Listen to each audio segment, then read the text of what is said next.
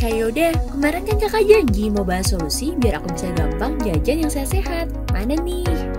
Oh iya, betul juga Indi. Sini, kakak bisikin solusinya.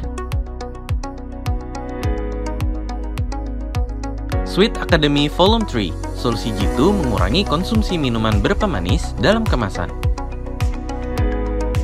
Kalian ngerasa nggak sih kalau mencari minuman sehat yang rendah gula itu susah banget? Rata-rata, warung ataupun supermarket menjual minuman yang gulanya di atas 10 gram per botol.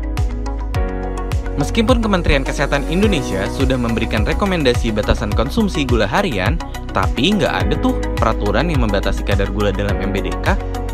Karena tidak ada peraturan tersebut, produsen minuman kemasan jadi bebas memasukkan gula sebanyak apa pun ke dalam produknya. Akibatnya, masyarakat sering tidak sadar bahwa mereka mengkonsumsi gula dalam jumlah yang sangat tinggi.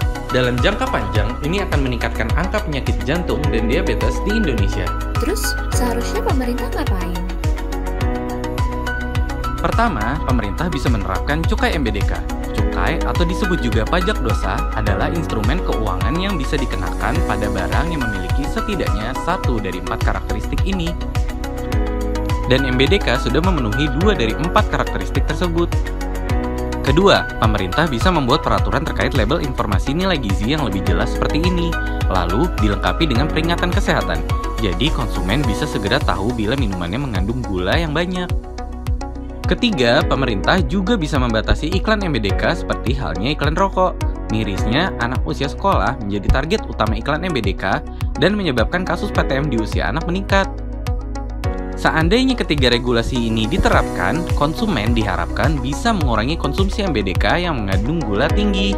Sementara, produsen menjadi tergerak untuk meluncurkan produk-produk yang lebih rendah gula. Jadi, nanti kamu bisa tetap jajan tapi dengan minuman yang lebih sehat deh. Oh gitu. Terus aku bisa apa biar peraturan itu segera terwujud, Kak? Mau tahu caranya? Yuk pantau terus media sosial kita dan tunggu pembahasan selanjutnya ya.